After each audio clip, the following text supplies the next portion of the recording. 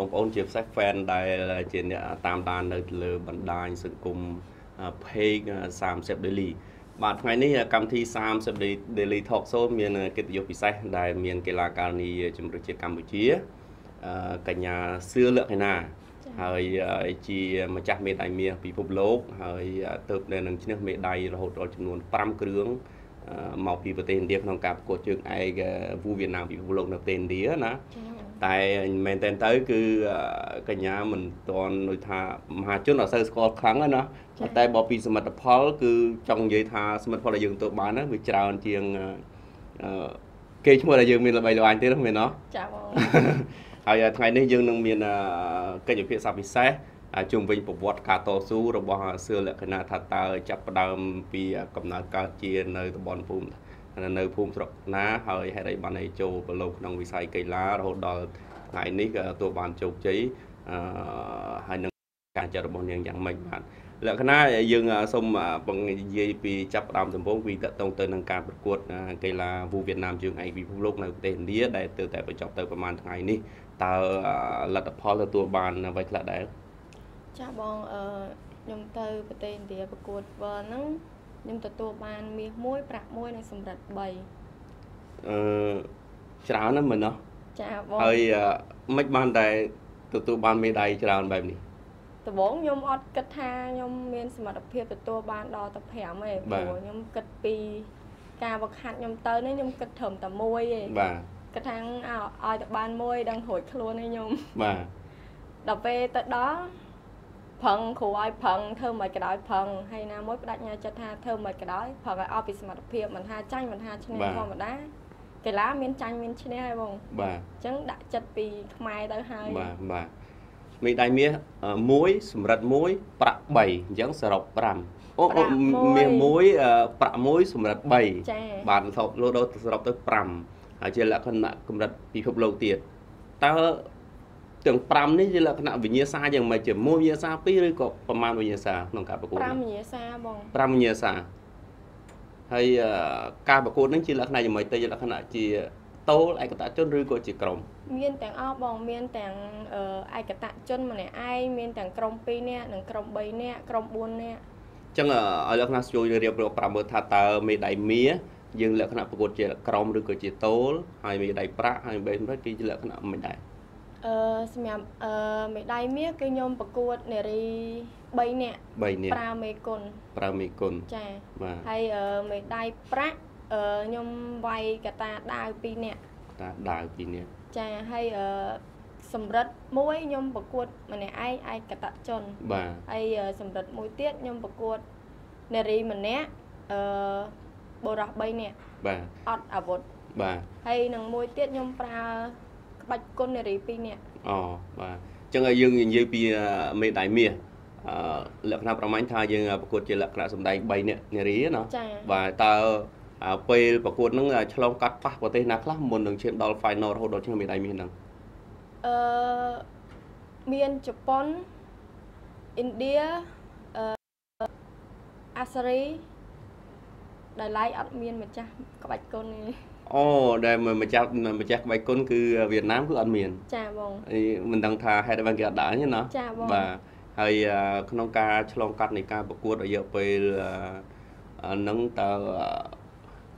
ដូចថាកតាអ្វីខ្លះជំរុញឲ្យកីឡាករនីយើងទាំង3នេះគឺឈានចុះពោះទៅរកមេដាយមាសអឺនិយាយទៅពួកខ្ញុំមួយរយៈហ្នឹងគឺត្រូវតាត្រូវធ្វើមិនឲ្យស៊ីចង្វាក់គ្នាព្រោះ កតាមួយហ្នឹងគឺត្រូវឲ្យពួកខ្ញុំវាយអសរគ្នាហើយឲ្យលះហាស់ទៀតបើពួកខ្ញុំធ្នើសតែបន្តិចគឺខុសខុសទាំងអស់ហ្មងអញ្ចឹងពួកខ្ញុំត្រូវតែខំប្រឹងទាំងអស់គ្នាបាទហើយនេះជាមេដៃមាសលើកទី1សម្រាប់លក្ខណៈពិភពលោកតែម្ដងសម្រាប់ជីវិតរបស់លក្ខណៈណាហើយក៏ចេញលើកទី1ដែរចេញលើកទី1ដែរហើយមិនដែលមានអារម្មណ៍មិនដែរគិតថាខ្លួនឯងយ៉ាងម៉េច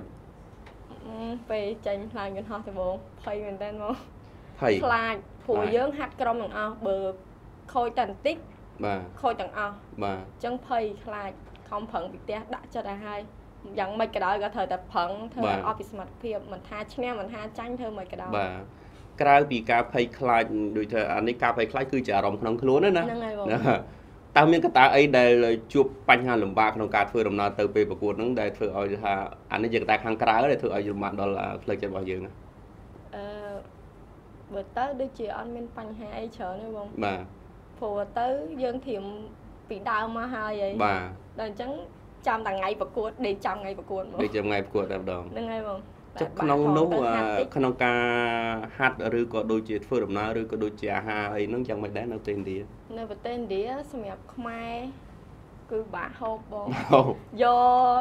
យកមីយកគ្រឿងគ្រឿងអាដូច ត្រីងៀតសាច់ផាត់អីយកទៅពីផ្ទះរៀងខ្លួនព្រោះដឹងថានៅនោះបាក់ហូបលោកគ្រូវៀតណាមគាត់ប្រាប់ថានៅនោះពិបាកហូបឲ្យដាក់មីទៅដាក់មីទៅហ្មងមួយអាទិត្យបាទចឹងដាក់មហូបអាហារពីពីស្រុកយើងទៅហ្នឹងហ្មងណាព្រោះនៅនោះយើងបាក់ហូបការីគាត់បាទរៀងធំក្លិនខាខាបាទងាកទៅការហ្វឹកហាត់របស់យើងវិញម្ដងមុននឹងឈានដល់សម្រាប់គោលដៅមួយដែលជាទីគោមោទនភាពសម្រាប់ខ្លួនឯងក៏ដូចជាក្រុមជម្រើសជាតិដូចជាប្រជាពលរដ្ឋកម្ពុជាយើង តើក្រុមកីឡាវូវៀតណាមកម្ពុជាក៏ដូចជាលក្ខណៈផ្ទាល់តើបានខិតខំហ្វឹកហាត់រយៈពេលប្រមាណហើយពិបាកខ្លាំងទេពេលដែលហ្វឹកហាត់មុននឹងចូលរួមការប្រកួតជើងឯកពិភពលោកហ្នឹងអឺសម្រាប់ការហ្វឹកហាត់បូវីណាមុនទៅប្រកួតពិបាកខ្លាំងបងព្រោះដូចមួយធីមពួកខ្ញុំអញ្ចឹងមានបងរ៉ាមីគាត់ហាត់ទៅផ្លាត់តាំងពីដៃចាញ់មកទៅគាត់នៅតែខំប្រឹងរហូតដល់បានចូលរួមការប្រកួតទៀតបាទ ចឹងខ្ញុំគិតថានិយាយសារខ្ញុំអ្នកខ្លះគេនិយាយថាស្រួលណាតែដល់ពេលចូលមកហាត់មិនដឹងហ្មងព្រោះហក់គៀបក៏ហ៊ានតែធ្លាក់មកខុសតែបន្តិចគឺផ្លោតដៃហ្មងអញ្ចឹងពេលហ្វឹកហាត់ការលោតខ្ពស់អីចឹងធ្លាក់អីចឹងវាមានបញ្ហាគ្រោះថ្នាក់ដល់ខ្លួនប្រាណណាហើយជាផ្សាយយើងជាស្រីទៀតហ្នឹងហើយបងយ៉ាងមិនដែលវាប៉ះពាល់ដល់ខ្លួនឯងគឺក៏ដូចយ៉ាងម៉េចមុនហប់ម្ដងម្ដងគ្រូថាចាំដល់មានគ្រូចាំ យើងលោតបើថាអត់គ្រូទេកុំកុំសូវហ៊ានលោតពេកព្រោះខ្លាចធ្លាក់មកត្រូវកន្លែងណាទៅវាពិបាកដែរជាពិសេសគៀប្រកួតគាត់ឲ្យសូវហក់ច្រើនទេចាំដល់គាត់នៅបានហក់កើតបាទព្រោះគាត់អាចទប់យើងបានបាទអញ្ចឹងត្រូវការប្រុងប្រយ័ត្នខ្លាំងខ្លាំងបងពួកខ្ញុំត្រូវការស្រូវគ្រប់កន្លែងហ្នឹងអបាទ អឺក្រមវូវៀតណាមកម្ពុជាយើងតើមានបានចេញទៅហ្វឹកហាត់នៅខាងក្រៅប្រទេសអីដែរទេមុននឹងឈានទៅការប្រកួតហ្នឹងអឺមុនទៅឥណ្ឌាពួកខ្ញុំទៅហាត់នៅវៀតណាម20ថ្ងៃបងអូបានហាត់នៅទឹកដីវៀតណាម20ថ្ងៃទៀតណាបាទយើងសរុបមកវិញដោយសារមិញយើងខ្ញុំសួរតែលក្ខណៈផ្ទាល់ខ្លួននៃចំពោះមេដៃគឺរហូតដល់បាន5គ្រឿងគឺមាស1ប្រាក់1សម្រាប់3ចុះបើសរុបជារួមរបស់ក្រុមជំនឿជាតិកម្ពុជាវៀតណាមយើងដែលទៅទាំងអស់គ្នាសរុបមកមេដៃច្រើនប្រហែល មេដៃឈប់បងអឺក្នុងម្នាក់ម្នាក់បានមេដៃតូចបំផុតមួយប្រាក់មួយបាទបាទអញ្ចឹងអឺយើងពេលដែលត្រឡប់មកដល់ទឹកដីកម្ពុជាវិញឃើញថាមានការទទួលហ្វឹករ៉ាទឹកធំខ្លាំងមែនទែនមានរត់ដល់ម៉ូតូធំ សារ៉ែនលោ12គ្រឿងហើយមានថ្នាក់ដឹកនាំទៅទទួលពេលនោះយ៉ាងម៉េចដែរពេលដែលបានពាក្យមានដៃមាសពលលោកហើយបានមកដល់ទឹកដីកម្ពុជាពាក់នៅនោះអត់សូវរំភើបហ្មងទេបងក៏មកដល់ខ្មែរព្រាមយំទាំងអស់យំទាំងអស់ហ្នឹងហើយរំភើបពេកព្រោះអត់ដែរមានអ្នកទទួលអបអសាតដល់ថ្នាក់យើងត្រឹមកីឡាករកីឡាការនេះប៉ុណ្ណឹងដល់ថ្នាក់មានអាយដាមអាយដាមគាត់ទៅចាំយើងទៅអង្គុយចាំយើងហ្មងអញ្ចឹងមានអារម្មណ៍ណារអៀសខ្លួនបន្តិចដែរព្រោះ មិនបានលាខ្លួនបើយើងបានមេដាយជូនជាតិទៅលាខ្លួនវិញយើងដឹងមិនដែររដងយើងបានត្រឹមថ្នាក់ SEA Games បាទដល់ពេលពិភពលោក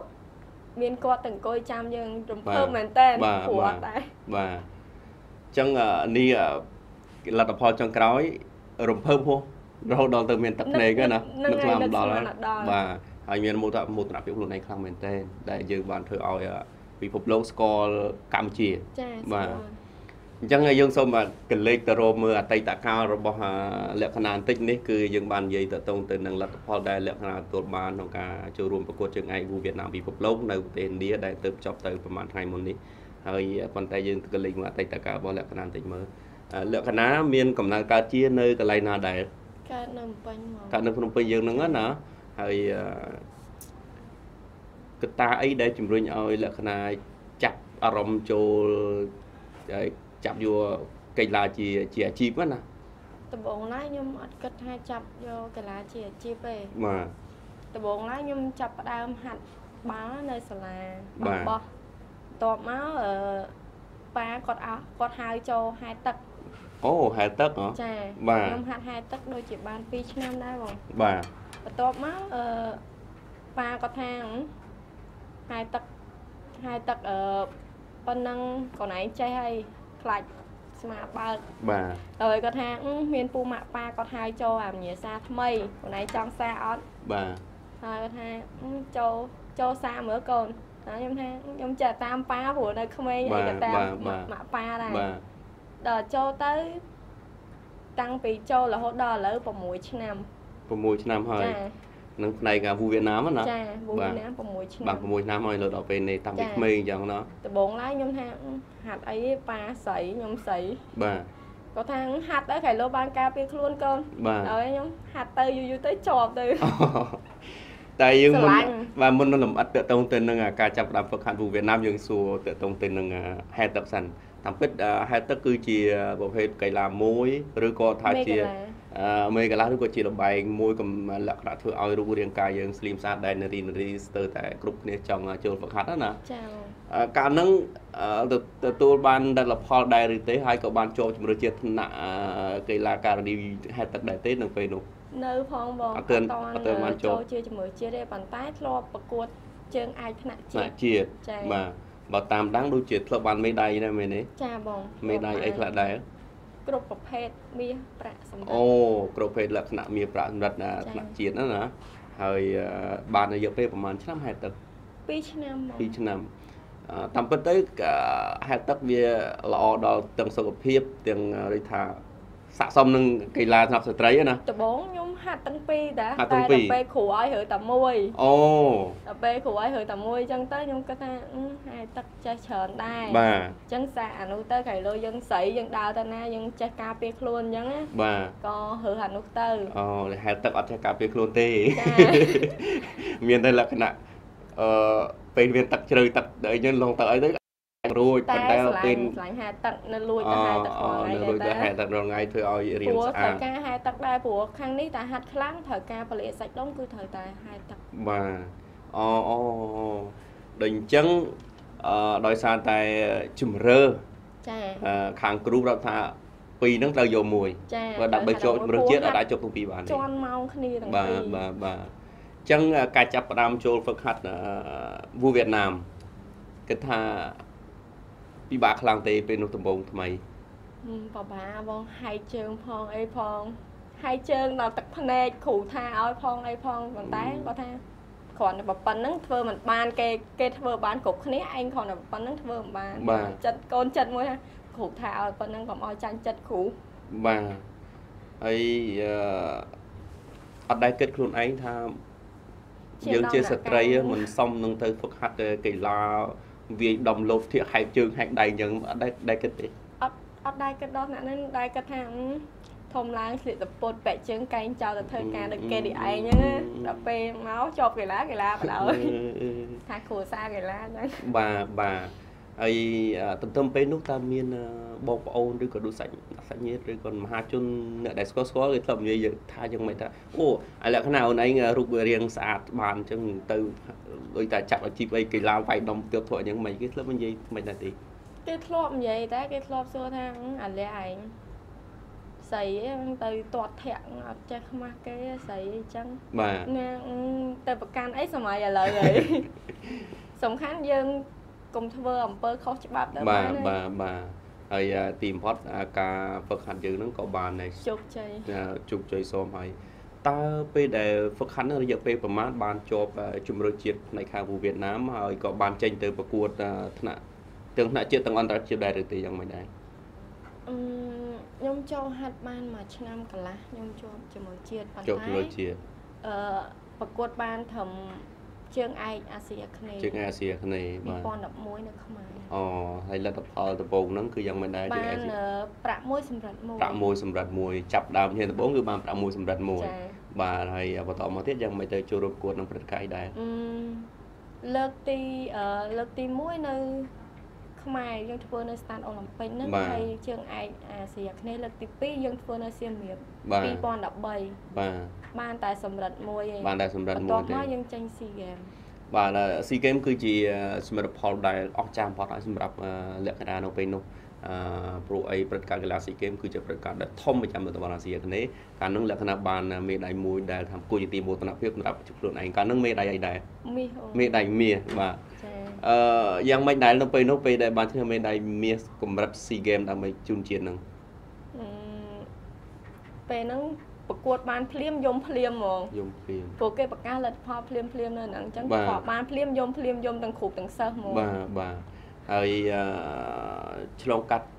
ពិបាកដែរទេព្រោះអីជើងឯង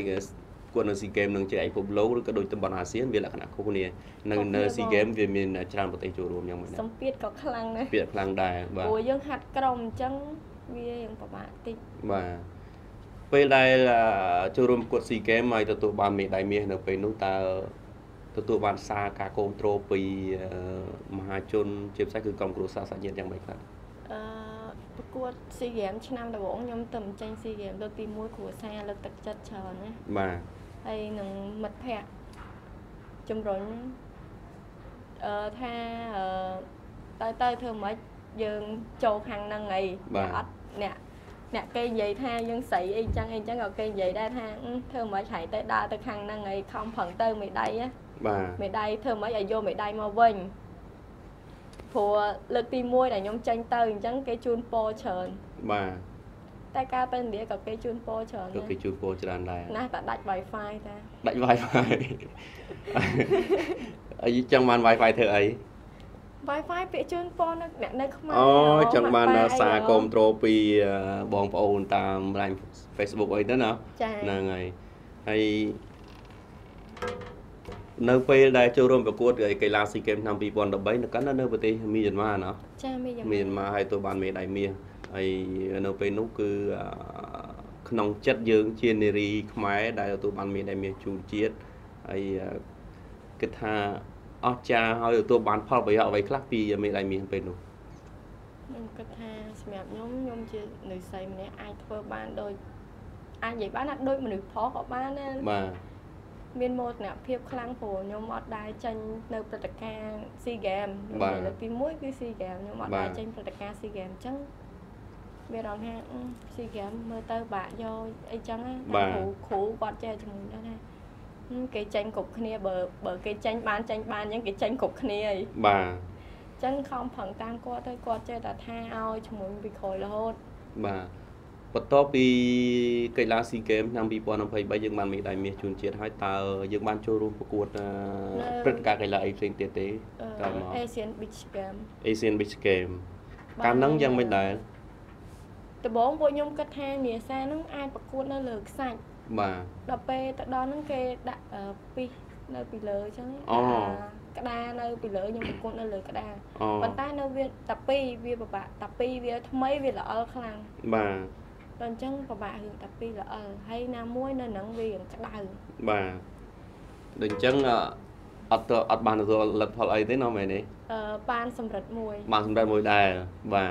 ហើយបន្តមកទៀតមានចូលរួមប្រកួតលក្ខណៈតំបន់អាស៊ានឬក៏ជើងឯកពិភពលោកទៀតទេអឺនៅឆ្នាំ2017នេះនៅសៀមរាបនៅសុខាឡៃអង្គរអូនៅនៅទឹកដីកម្ពុជាយើងតែម្ដងណាហើយលក្ខណៈជើងឯកអាស៊ានតែម្ដងកម្ពុជាធ្វើម្ចាស់ផ្ទះ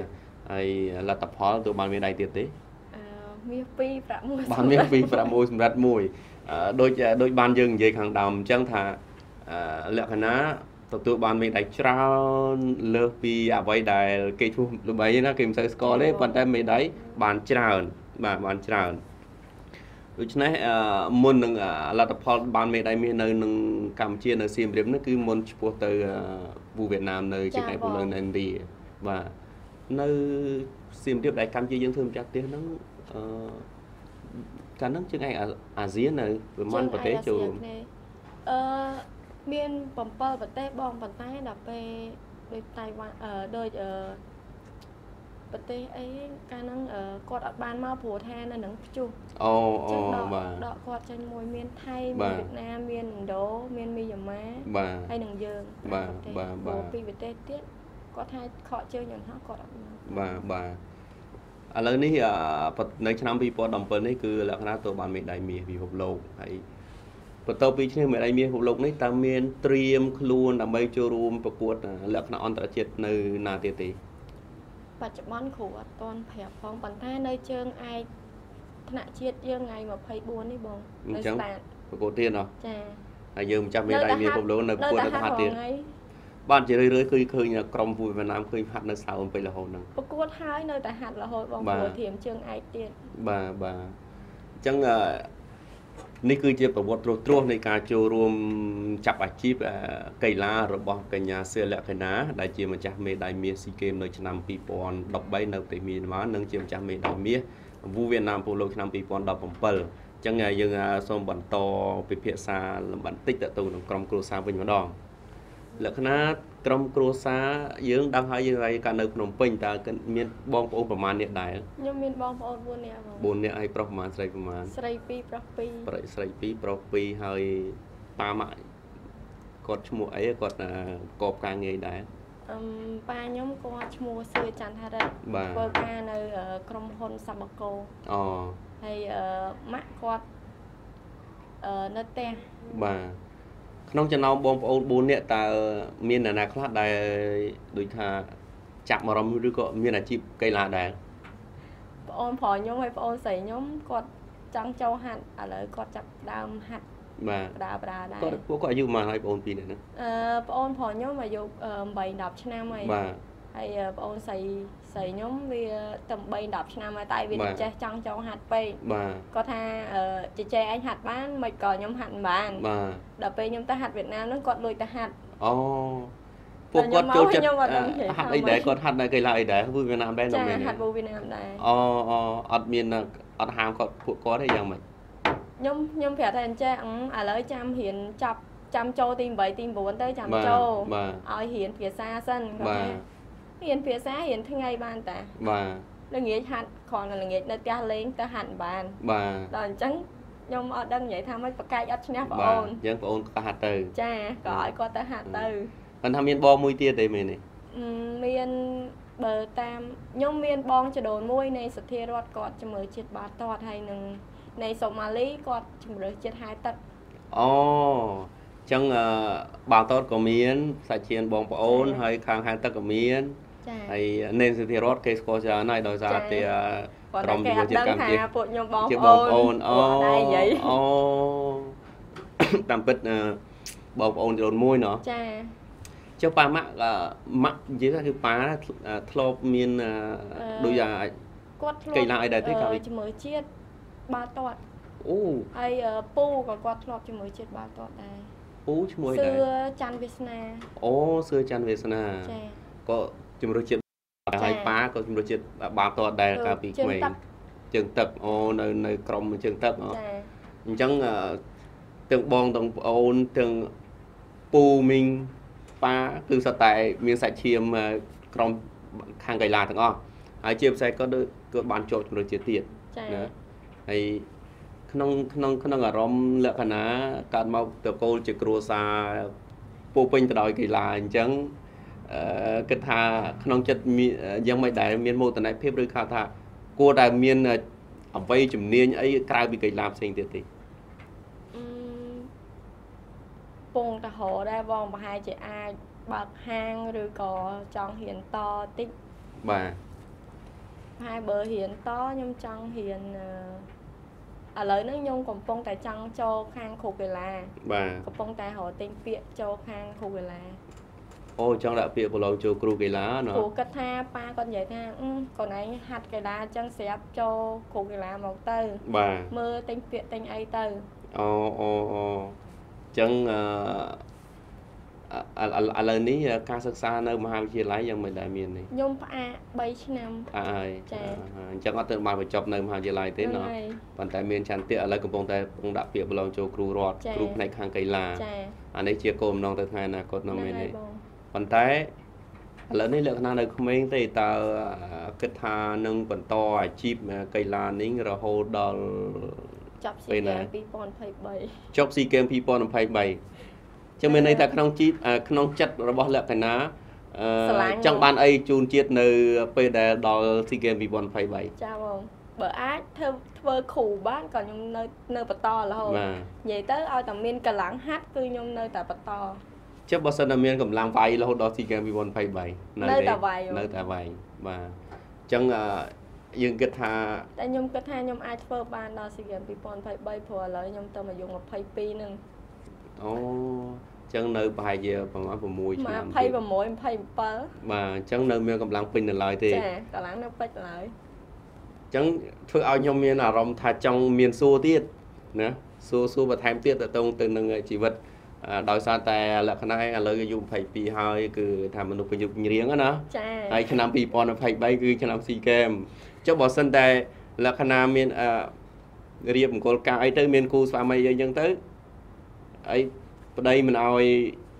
ប្រឡូកចូលកីឡាឬក៏មិនអោយធ្វើគ្រូមិនអោយអឺអីចូលទៅតាមដើម្បីត្រៀមខ្លួនដល់ SEA Games 2023យ៉ាងម៉េចទៅតែគេស្រឡាញ់យើងគេសម្របតាមយើងឯងអូអញ្ចឹងហ៎សំខាន់លើយើងនិយាយគ្នាទៅ បាបើទអ្នកមកខ្ញុំហ៊ានទៅអឺធ្វើមិនបើអូនចូលខាងហ្នឹងឯងបងឯងក៏ដឹងដែរថាអូនស្រឡាញ់ខាងកីឡាធម្មតាអូតែអត់មកបាទប៉ុន្តែយកតែលក្ខណៈស្រឡាញ់គេខ្លាំងវិញមិនទៅគេគេមនុស្សក្នុងចិត្តអញ្ចឹងណាហើយលក្ខណៈត្រូវតាមគេតាមគេអត់យើងនិយាយគ្នាសិនជិះគ្នាសិនណាបាទអឺសំខាន់អឺគេប្រាប់យើងមិនបាទហេតុផលគេមិនបាទអឺ ស្ថិតលើយើងនិយាយគ្នាបាទបាទតែធម្មខ្ញុំគិតថាបើគេស្រឡាញ់យើងគេដឹងហើយថាយើងអ្នកកីឡាអញ្ចឹងតែងតែចង់អឺលេងកីឡាតទៀតអីបាទត្រូវអត់បងបាទត្រូវហើយអឺអញ្ចឹងអឺมันមានន័យថាពេលដែលមានគ្រូមានគ្រូសាមានអីគឺឈប់ពីកីឡាទេ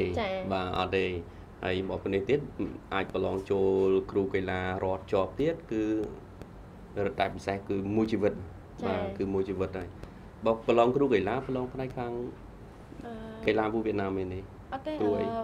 ប្រឡងចូលគ្រូកីឡាគេឲ្យយើងប្រឡងគ្រប់ញាសាហ្មងអូប្រឡងគ្រូមានវិទ្យាសាច្រើនស្ត្របាទយើងអឺងាកមកនិយាយពីតកតងទៅនឹងស្ត្រីនៅក្នុងវិស័យកីឡាវិញអឺលក្ខណៈយល់ឃើញយ៉ាងម៉េចដែរចំពោះស្ត្រីអឺ ឬក៏ដូចកីឡាការីខ្មែរយើងអឺសប្តាហ៍ថ្ងៃនេះអឺមានការភពផលចូលរួមច្រើនទេអឺមកធំស៊ីហ្គេមភូមិមាហើយខ្ញុំឃើញមានមនុស្សស្រីចូលហាត់កីឡាច្រើនបាទព្រោះកីឡាក្នុងនិយាយនិយាយទៅក្នុងនិយាយឲ្យចំទៅគឺយើងត្រូវតែត្រូវការកីឡាទាំងអស់គ្នាបាទ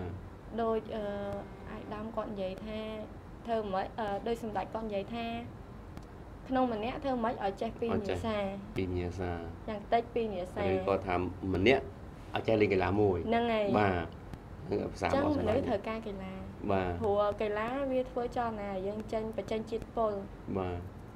ចឹងខ្ញុំឃើញមួយរយៈហ្នឹងមានមនុស្សស្រីចូលហាត់ច្រើនបាទសូមតើបីតាភាសាខ្ញុំយល់ឃើញថាតើមានអឺចរន្តឬក៏សកម្មភាពឬកត្តាអ្វីដែលជំរុញឲ្យអឺថាស្ត្រី ចាប់អារម្មណ៍ផ្នែកខាងកីឡាតើមានវិធីសាស្ត្រអីយ៉ាងម៉េចដែរទេបើតាមខ្ញុំសង្កេតមើលទៅបើកីឡាវាធ្វើឲ្យទី1វាបញ្ចេញជាតិពុលពីរាងកាយបាទទី2បើយើងហាត់កីឡាអឺតាមអឺកម្រិតដល់កម្រិតវាបាទរាងក៏ស្អាតដែរបងរៀងក៏ស្អាតចាហើយដូចលក្ខណៈរងថ្ងៃអញ្ចឹងណារៀងស្អាតដោយសារកីឡាមែនហាទេត់តាំងពីថតរហូតដល់បាទអឺសូមរំលឹកតិចកាលប្រហែលជា 2ឆ្នាំមុនដែលធ្លាប់ជួបលក្ខណៈម្ដងនៅផ្ទះលក្ខណៈ3ឆ្នាំមុនណាណាកាលហ្នឹងខ្ញុំមេដៃមាន SEA Games ឆ្នាំ2013ខ្ញុំបានទៅផ្ទះលក្ខណៈម្ដង2013ហ្នឹងហើយបាទ2013កាលហ្នឹងលក្ខណៈមើលទៅហៅថារៀងម៉ាប់ណាចា60 60គីឡូឥឡូវនេះរៀងស្លីមចាតើហេតុអីបានទៅធ្វើឲ្យកាយរាងកាយរបស់លក្ខណៈផ្លាស់ប្ដូរច្រើនម្ល៉េះអឹមពីមុនខ្ញុំចូលចិត្តញ៉ាំអារបស់ខ្លាញ់ខ្លាញ់ច្រើនតែបាពេលទគ្រូគាត់ស្ដីឲ្យគាត់ថា យើងកុំញ៉ាំអារបស់ហ្នឹងច្រើនពេកព្រោះវាអត់សូវល្អមួយសុខភាពអញ្ចឹងបាទពេលហ្នឹងក៏អាសាឈឺដែរដល់ពេលគ្រូប្រាប់ថាអឺឥឡូវតមតិចទៅព្រោះខ្លាចហាត់អត់កើតហត់បាទលោតអីអត់កើតអញ្ចឹងណាបាទហើយណាមួយហាត់ខ្លាំងទៀតបងហាត់ដល់ថ្នាក់បាយអត់ចូលអូព្រោះចិត្តប្រកួតគឺម្នាក់ម្នាក់ហាត់ដល់ចប់បាយបាទហើយដល់ពេលបានទៅឥណ្ឌាអត់ហូបអត់សូវបានទៀតអឺអញ្ចឹងកល ណាគេថាវិវិធីសាស្ត្រសម្រកអឺទម្ងន់រកគីឡូកាន់តែល្អអ្នកកំម៉ាប់ខ្លះព្យាយាមរកគីឡូគឺអត់ហូបបាយអអស់បាយពេលល្ងាចអឹមបើតាមដឹងបើតាមដឹងពួកខ្ញុំសម្រក់គីឡូអត់អត់អឺអត់ប្រអត់បាយទេបងគឺពួកខ្ញុំហូបប៉ុន្តែហូបបថយអូបថយបាយបាទហើយដូចព្រលឹមឡើងអីពួកខ្ញុំញ៉ាំជាបន្លែសោះបាទបន្លែសោះទៅហើយហូបបាយពេលថ្ងៃល្ងាចហូបតិចវិញ បាទបានវាអត់បាក់កម្លាំងមើលអញ្ចឹងយើងយើងអត់ប្រអត់បាយយើងអាចអឺកម្លាំងយើងខ្សោយខ្លាំងហ្មងបាទបាទធ្វើអីក៏អត់ការដែរសំបីតដើរក៏ចង់ដូចបាទអញ្ចឹងចុះតកតងទៅនឹងសុខភាពវិញអឺតាមពិតទៅលក្ខណៈមានកម្ពស់ខ្ពស់រូបរាងក៏ស្អាតហើយគួរស័ក្តិសមតែស្លៀក ហូលប្រមងរ៉ូបហើយដើរស៊ីវិល័យនៅលើរាត្រីសមោសលើកំរល់អីចឹងណានៅទៅចូលរួមកម្មវិធីផ្សេងស្អាតតែបែរជាមិនសូវបានដោយបំណងទេគឺជួយគឺមានតែផ្នែកខាងអាវកីឡាទេហើយបានតើបងបានដែរអឺពេលការមិត្តភ័ក្តិការបងប្អូនបាទគេមកពីឲ្យកីឡាទៅទេណោះចាបាទលក្ខណៈតើកីឡាវូវៀតណាមនឹងធ្វើឲ្យប៉ះពាល់ដល់សម្រស់រូបរាងសម្រស់កាយរបស់ស្ត្រីទេ អឺអត់ទេបងប៉ុន្តែបើសិនជាគៀកប្រកួតពួកខ្ញុំហាត់ចឹងវាស៊ាំចឹងវាអាចប៉ះជាប់កន្លែងនេះជាប់កន្លែងនោះខ្លាំងធម្មតាយើងហាត់យើងដៃគូវាតែតែប៉ះវាតិចតួចឯកីឡាបាទបាទចុះសម្បល់ស្បែកអីយ៉ាងម៉េចទៅប៉ះពាល់ធ្វើឲ្យខ្មៅជាប់មិនសស្អាតទេមិនទេបងព្រោះពួកខ្ញុំហាត់នៅក្នុងមលប់ហ្នឹងវាអត់ប៉ះពាល់អីទេបាទក្នុងចិត្តរបស់លក្ខណៈតើគួរឲ្យស្ត្រីហាត់កីឡាវៀតណាមទេ បើសិនជាអាចហាត់ក៏ល្អដែរព្រោះបងអឺអាចការពារខ្លួនបានព្រោះយើងជាមនុស្សស្រីដល់មានស្នៀតការពារខ្លួនច្រើនណាស់ព្រោះសម័យឥឡូវទុកចិត្តមិនបានទេបងអូបាទមានចោលមានអីហ្មងហ្មងបាទការពារខ្លួនបានបាទបាទអឺខ្ញុំសួរតើតើនឹងគូជីវិតចុងក្រោយបន្តិច លក្ខណៈគិតថានៅពេលណានឹងមានគូឬក៏ថាសម្រាប់រៀបការតើមានកំណត់ពេលទេធ្វើមានគិតក្នុងចិត្តថាចង់កំណត់ពេលថ្ងៃណាកីឡាកំណត់ពេលអត់បានទេដល់ចាំខាងប្រុសបងព្រោះយើងនៅស្រីយើងមិនចូលទៅសួរគេណាបងបាទត្រូវអត់បាទចាំខាងប្រុសប៉ុន្តែសួរក្នុងចិត្តមួយមើលថាតើលក្ខណៈមានគូហើយនៅដល់ថ្ងៃនោះមានហើយបងអូមានហើយចា ចឹងបងប្អូនដែលកំពុងតាមដានទស្សនាហ្នឹងប្រហែលជាអ្នកខ្លះដែលកំពុងតែចាប់អារម្មណ៍ប្រហែលជាខកចិត្តណាដែលលក្ខណៈគេប្រកាសប្រាប់ថាគេមានគូហើយមិនខកទេបងព្រោះខ្វះអីមនុស្សស្រីពេញអង្គបាទបាទបាទលក្ខណៈខ្ញុំសូមរំលឹកតកតងទៅនឹងប្រវត្តិលក្ខណៈបន្តិចចាំបានថាពេលដែលចូលហ្វឹកហាត់វូវៀតណាមដំបូងកាលហ្នឹងប្រហែលជាឆ្នាំ2011 12ណាចា៎បាទ កាលហ្នឹងឮថាជួបការលំបាកខ្លាំងដោយសារតែប៉ាហាមឃាត់ឬប៉ាវាយប៉ាអីទៀតណានៅពេលនោះយ៉ាងម៉េចដែរដំបូងគាត់គិតថាអឺខ្ញុំនឹងមិនមែនតែហាត់អាហ្នឹងទេទៅកន្លែងផ្សេងបាទដល់ពេលគាត់ស្ដាប់អឺអត់តន់ហ្នឹងគាត់គិតថាខ្ញុំនឹងខូច ព្រោះខ្ញុំអត់ដែរចេញពីផ្ទះទេដល់ពេលថ្ងៃហ្នឹងទៅចេញទៅរៀងជ្រុលម៉ោងអត់បានមើលម៉ោងអូគាត់ភ័យបាទភ័យខ្លាំងពេកគាត់ថានិយាយអត់ស្ដាប់អីចឹងកាលហ្នឹងក្មេងបាទគាត់ខឹងពេកថាឲ្យខ្ញុំអត់ឈឺទេបាទអូថាឲ្យអត់ឈឺទេទៅវាយបានឈឺហ្នឹងហើយចឹងកាលហ្នឹងត្រូវបែរយកខ្សែក្រវ៉ាត់ហើយមើលទៅខ្សែក្រវ៉ាត់តែតាំងពីហ្នឹងមកគាត់ឈប់រហូតហ្នឹងតាំងប្អូនខ្ញុំទាំងអស់អត់ប៉ះទាំងអស់អូព្រោះគាត់ថាគាត់ខុសបាទ ខឹងខុសអញ្ចឹងណាបាទបាទព្រោះស្ដាប់កូនអត់តន់បាទប៉ុន្តែយើងក៏អត់បានស្ដាប់គាត់ដែរចាបាទហ្នឹងមិនមែនថាគាត់ខុសទាំងស្រុងទេពុកគេស្រឡាញ់កូនអញ្ចឹងណាលក្ខណៈអាចរំលឹកបានទេតើនៅក្នុងជីវិតតាំងពីតូចរហូតដល់ពេលនេះអឺមានពេលណាមួយដែលគិតថាខ្លួនឯងអឺ ទទួលរងការជឿចាប់ខ្លាំងឬក៏ពិបាកចិត្តក្នុងអារម្មណ៍ខ្លាំងដែលគិតជំរុញឲ្យយើងគិតថាចង់បោះបង់ចោលកីឡាមានដែរធ្លាប់បែបនេះទេអឺអឺពេលដូចឆ្នាំ SEA Games គឺខ្ញុំប្រឡងទី12បាទហើយពេលហ្នឹងខ្ញុំពិបាកបាយចាយមែនតើព្រោះយើងហាត់ហាត់ខ្លាំងហើយហត់ក៏ខ្លាំងទៀតដល់ពេលហត់ខ្លាំងទៅយើងទៅរៀនវាអត់ចូល យើងកំពុងតែហត់ណាបាទទៅរៀនអត់ចូលហើយណាមួយម៉ោងរៀនគួរជាមួយម៉ោងហាត់នឹងជន់គ្នាបាទទាំងព្រឹកទាំងល្ងាចអូដល់អញ្ចឹងវាពិបាកសម្រាប់ចិត្តហើយខ្ញុំក៏សម្រាប់ចិត្តទៅថាយកទាំងពីរព្រោះយើងអត់អត់អាចចោលមួយណាបានកីឡាក៏អត់អាចចោលបានបាក់ឌុបក៏អត់អាចចោលបានព្រោះនៅឆ្នាំចុងក្រោយទេអូអឺហេងថងថាប្រកួតស៊ីហ្គេមមុនប្រឡងបាទអូ ជាទូទៅព្រឹត្តិការណ៍កីឡាស៊ីហ្គេមហាក់ដូចជាត្រូវគ្នានឹងឆ្នាំប្រឡងបាក់ឌុបអូត្រូវគ្នានៅខែប្រឡងបាក់ឌុបណាចាប៉ុន្តែដល់ពេលឆ្នាំក្រោយឆ្នាំក្រោយនេះវាជន់គ្នាបាទអ្នកខ្លះដូចឆ្នាំហ្នឹងអីដូចអ្នកខ្លះមានប្រឡងបាក់ឌុបច្រើនអញ្ចឹងគេរត់ទៅប្របាក់ស្បែកចិត្តជាងខ្ញុំទៀតបាទបាទប៉ុន្តែទោះយ៉ាងណាយើងឃើញថានៅឆ្នាំ2013គឺជាឆ្នាំដែលប្រឡងបាក់ឌុបណោះចា៎ហើយក៏យើងចូលរួមប្រកួតកីឡាស៊ីហ្គេមពេលនោះគឺទទួលបានពីរបងកាលនោះទទួលបានជោគជ័យទាំងពីរហ្នឹងហើយភ័យទាំងពីរប៊ីធ្លាក់ទៀតបាទហ្នឹងគឺស្ទើរតែពេលខ្លះចង់ចោលកីឡាស្ទើរតែពេលខ្លះចង់ចោលការសិក្សាពេលនោះណាតាក់ទើហ្មងបងព្រោះឆ្លាញ់ទាំងពីរដល់យើងបើពេលហ្នឹងប៊ីបាត់បង់ទាំងពីរទៀតណាបាទគុំនឹកឃើញថា ចៅអានេះក៏អត់បានចៅអានោះក៏អត់បានដល់ពេលមើល state យកប្រកួតមួយ state យកប្រឡងទៅអត់ប៉ះអត់ប៉ះពាល់គ្នាអញ្ចឹងក៏រួចខ្លួនឯងខ្ញុំបាទប្រឡងប៊ីធ្លាក់ទៀតព្រោះភ័យអារម្មណ៍ភ័យនៅញ័រដៃបាទអាហ្នឹងគឺបាក់ដប់ជាប់ហើយបានមេដាយមាសស៊ីហ្គេមពេលប្រកាសលទ្ធផលខាងលើធ្លាក់ខាងក្រោមធ្លាក់ហើយបាត់ឈ្មោះខ្ញុំខ្ញុំភ័យភ័យភ័យមែនពេលហ្នឹងភ័យខ្លាំងហ្មងព្រោះខាងលើក៏គេប្រកាសធ្លាក់ខាងក្រោមធ្លាក់កដាលខ្ញុំជាប់ បាទធ្លាក់ទៀតបាទនេះគឺនេះគឺជាប្រវត្តិការតស៊ូប្រឹងប្រែងរបស់កញ្ញាសិលក្ខណៈគឺកីឡាករនីវូវៀតណាមជំរឿនជាតិកម្ពុជា ដែលយើងបានពិភាក្សានៅពេលនេះហើយថ្មីៗនេះគឺកញ្ញាទៅតែនឹងឈ្នះមេដាយមាសវូវៀតណាមពិភពលោកមួយគ្រឿងប្រាក់មួយគ្រឿងហើយនិងសម្រិត3គ្រឿងចុះនៅស៊ីហ្គេមនៅឆ្នាំ2013នេះយើងអត់មាន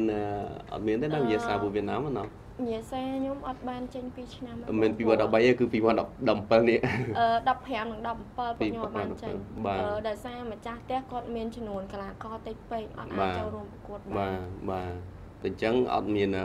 ប្រភេទវូវៀតណាមទេអឺម៉ាឡេការធ្វើជើងឯកនៅខ្មែរគាត់ថាមកដែរដល់ពេលមិនដឹងម៉េចគាត់ដូរជើងយន្តហោះអត់តគាត់ក៏អត់បានមកប្រកួតទៅបាទបាទអញ្ចឹង មែនទេទៅកីឡាកីឡាវូវៀតណាមនៅកម្ពុជាក្រុមកម្ពុជាយើងគឺមានសក្តានុពលខ្លាំងណាចាអឺស្ទើរពេលខ្លះអឺមិនពេលខ្លះគឺជាស្ដែងដូចជាកីឡាករនីកីឡាករសែនរ៉ាឌីទិនភៀបណាឈ្នះមេដាយមាសពិភពលោកកាលពីឆ្នាំ2016កន្លងទៅនេះហ្នឹងមិនឈ្នះកីឡាករម្ចាស់ផ្ទះវៀតណាមចា៎បាទអាហ្នឹងយើងមានសក្តានុពលអាចយកឈ្នះម្ចាស់ផ្ទះទៀតបាទនេះជាលក្ខណៈផ្សាយរបស់ក្រុមវៀតណាមឲ្យតែមានព្រឹត្តិការណ៍លក្ខណៈជាតិ លក្ខណៈអន្តរជាតិមិនថាតំបន់មិនថាពិភពលោកគឺតែងតែទទួលបានមេដាយមាសបាទដោយសារសមត្ថភាពយើងដែរបងបាទគាត់ហាត់ខ្លាំងដែរហាត់ឡងគាត់ស្មក់ម្ដង5គីឡូ6គីឡូបាទស្មក់ខ្លាំងជាងគាត់បាយបដាទៀតបាទអញ្ចឹងកិច្ចវិភាសានៅថ្ងៃនេះឬក៏ជជែកវិញញែកអំពីប្រវត្តិរបស់កញ្ញាសិលក្ខណា គឺរៀងដូចវែងឆ្ងាយហើយខ្ញុំបានបើកឱកាសមើលសំណួរ comment អ្នកគ្រប់ត្រូលទេបាទខ្ញុំបានបើកឱកាសនៅមើលអ្នកគ្រប់ត្រូលទេដូច្នេះខ្ញុំសូមបញ្ចប់នៅត្រឹមនេះហើយចុងក្រោយតើលក្ខណៈមាននិយាយអ្វីទៅកាន់អ្នកគ្រប់ត្រូលក៏ដូចជាជំវិញវិស័យកីឡាបាទអឹមជាចុងក្រោយខ្ញុំចង់สนុំពរឲ្យប្រជាពលរដ្ឋទាំងអស់អាចបើសិនជាអាច ចូលរួមហាត់កីឡាទាំងអស់គ្នា ដើម្បីសុខភាពយើងទាំងអស់គ្នាហើយខ្ញុំក៏សូមថ្លែងអំណរគុណដល់ថ្នាក់ដឹកនាំគ្រប់ជាន់ថ្នាក់និងម្ចាស់ sponsor ទាំងអស់ឲ្យជួបប្រទះតែសេចក្តីសុខសេចក្តីចម្រើនទាំងអស់បាទអញ្ចឹងអរគុណប្រិយមិត្តបងប្អូនដែលតាមដានទស្សនានៅកម្មវិធី30លីថតសូនៅពេលនេះកម្មវិធីយើងបានឈានដល់ទីបញ្ចប់ហើយកំប្រកំហុសខុសឆ្គងដល់ចេតនាមួយសូមអធិស្ឋានផងបាទ យើងខ្ញុំទាំងពីរនាក់និងក្រុមការងារសូមអរគុណសូមគោរពលា